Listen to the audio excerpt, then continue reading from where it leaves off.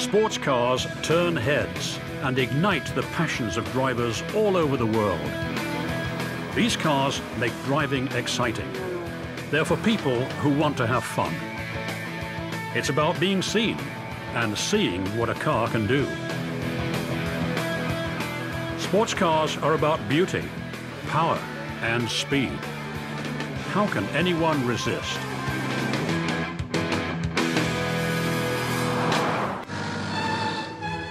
The excitement of speed attracted people to cars right away. These were machines that set the heart racing. No one could resist taking them out to see what they could do. Initially, only the rich could afford automobiles, and they liked to race their toys.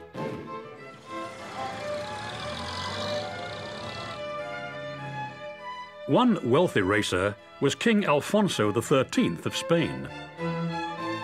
He favoured the well-engineered and fast Hispano Suiza. He bought 30.